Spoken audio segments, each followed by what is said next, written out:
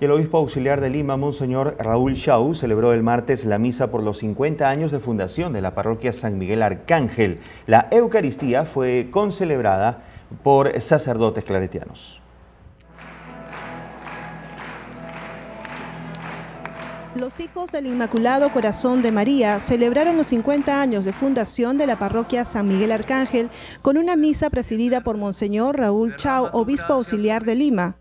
Sus hijos, los claretianos, son esos misioneros que van allí por diversos lugares del mundo llevando la buena nueva que es la palabra de Dios y el amor a María Santísima.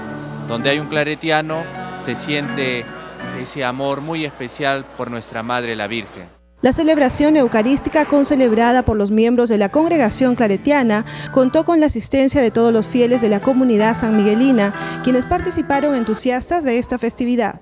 Y que el Señor siempre nos siga bendiciendo con este espíritu misionero para evangelizar y el Señor bendiga a toda la familia de la parroquia.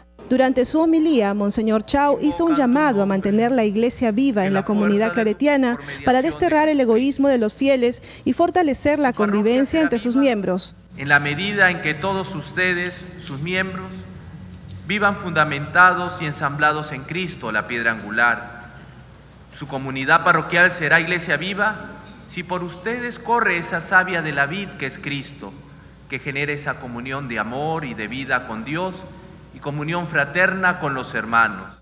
Al término de la misa, los misioneros claretianos se dieron un momento para saludar a la Virgen María, Madre de la Iglesia, y en un gesto de reconocimiento de la labor de los fieles, Monseñor Chao regaló medallas de San Miguel Arcángel a los asistentes.